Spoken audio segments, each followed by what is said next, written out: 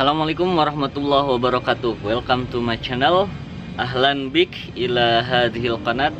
Pada kesempatan kali ini saya akan menanam anggur sugar crispy. Nantinya saya menyebut anggur madu crispy saja.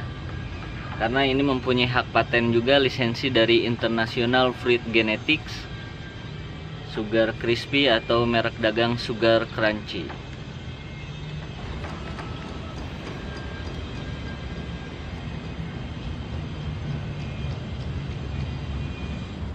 Di penanaman kali ini saya fokus ke media tanam yang sangat subur, bersifat baik sehingga bisa dikendalikan jamur-jamur yang bersifat patogen di media tanam ini. Bibit sugar crispy ini atau anggur madu crispy ini saya grafting di Rustok Isabella 4 Desember jadi sekitar umur 2 bulan lebih 10 hari. 25 hari setelah graft dengan cara sambung sisip ya. Ini saya tidak buka dulu nanti kemudian saya buka setelah rapat sempurna 1 sampai 2 bulan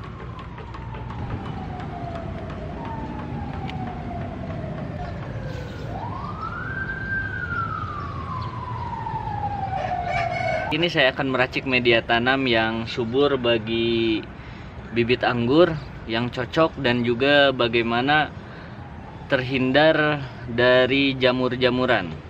Jamur di dalam media tanam yang bersifat patogen.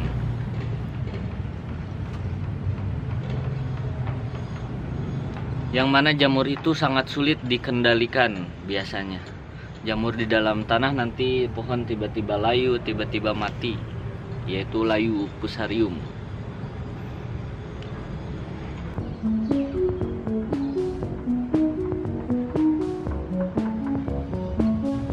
Tempat untuk media tanam saya memakai bak di atas atap rumah.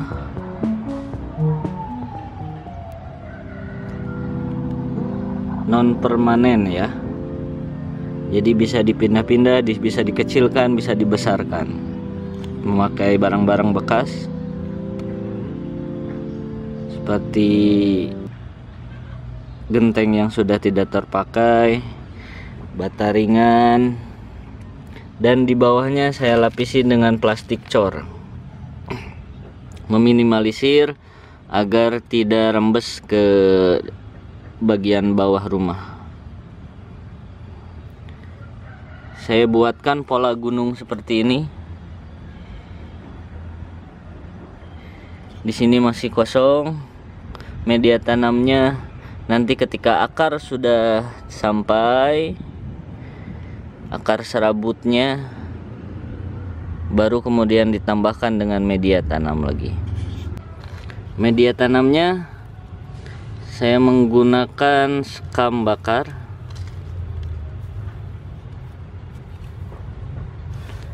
Tanah dicampur dengan pupuk organik ya. Bisa kompos bisa kohe kambing yang sudah terfermentasi. Dibuat gundukan gunungan seperti ini.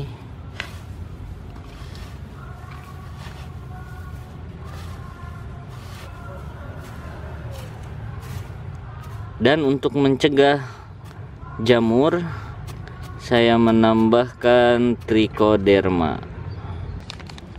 Fungisida hayati trichoderma ya yang sudah jadi. Bisa membuat isolat sendiri teman-teman. Jadi kalau misalkan pupuk kandangnya belum matang sempurna bisa ditambahkan ini untuk mempercepat proses pematangan pupuk kandang dan juga mencegah penyakit layu layu fusarium atau jamur-jamur yang bersifat patogen. Patogen merusak dari tanaman dan juga media tanam. Saya berikan satu sendok teh ini mirip kompos ya bentukannya dan dicampur di media tanam.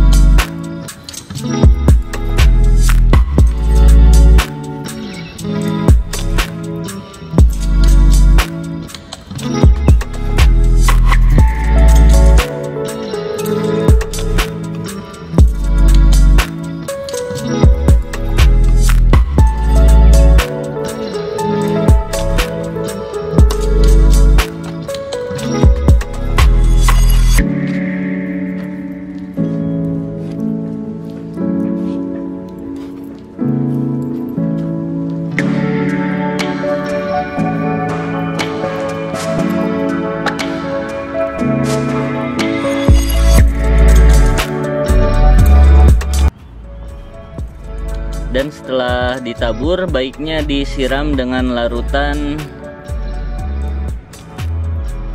gula merah atau gula putih. Sekitar satu sendok dicampur ke dalam air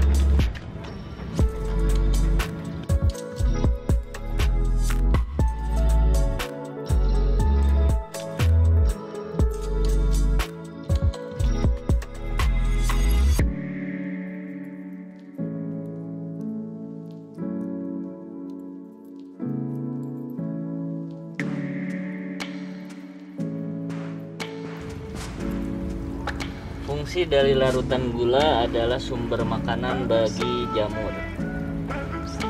Jamur juga butuh makanan ya.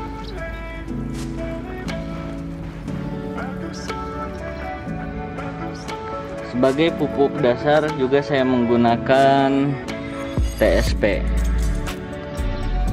Sebagai fungsi bagi mempercepat perakaran adaptasi juga mempercepat adaptasi memperkuat perakaran dan merangsang pertumbuhan akar. Saya menggabungkan antara organik dan kimia. Organiknya untuk tanah kimianya untuk waktu. Mempercepat ya. Jadi tidak melulu kimia dibarengi dengan organik dan juga tidak hanya organik. Di zaman yang sangat cepat ini dibutuhkan salah satunya unsur pupuk kimia sintetis. Satu sendok makan atau dua sendok teh dicampur ke dalam media tanam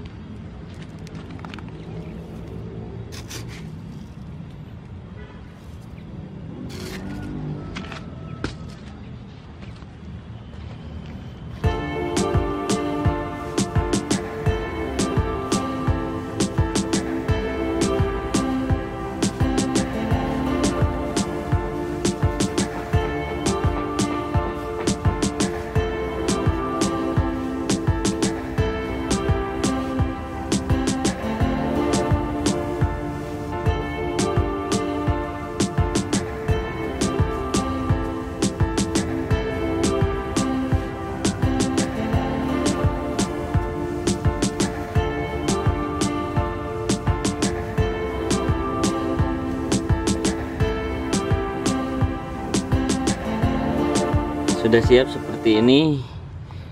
Ini dibuat menggunung dan di tengahnya dibuat mencekung.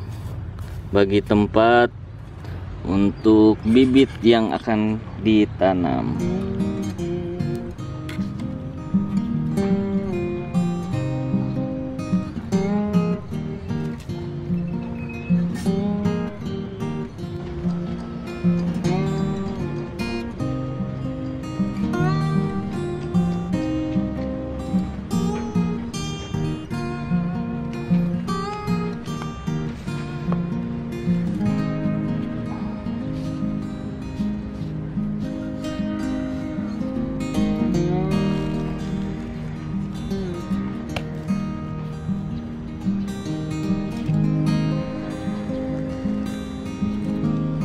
perakarannya udah mantap.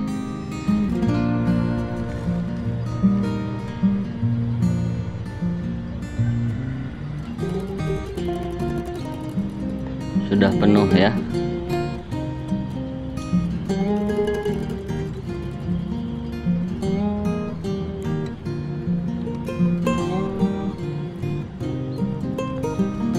Kalau bibit sudah mapan seperti ini sudah baik Nah, ketika ditanam tidak akan stres dia. Cepat beradaptasi dengan media tanam baru yang lebih banyak.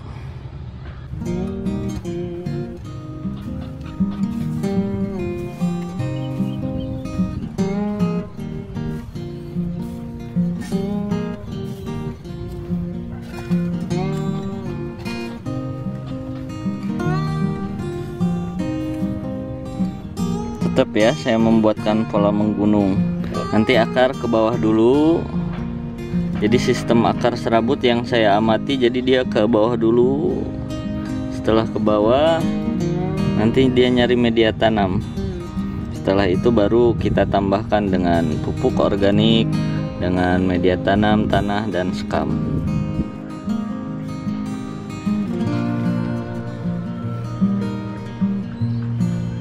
langkah terakhir jangan lupa untuk disiram ya agar media lama dan yang baru bisa lebih menyatu.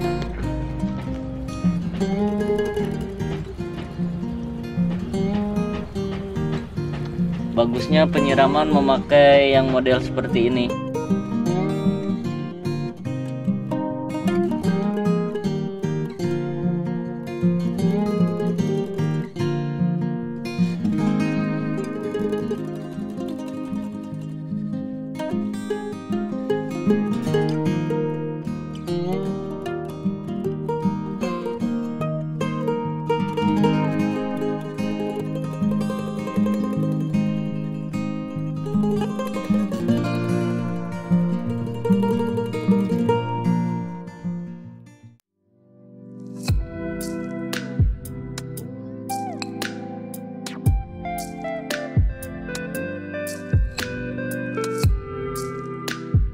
kali ini selesai. Baik terima kasih yang sudah menonton dan berkunjung ke kebun Montaza.